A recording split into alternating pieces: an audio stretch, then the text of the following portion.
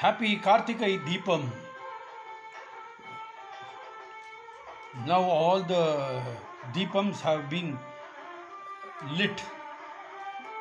This will be next transported. This will be next transported to various locations within the house.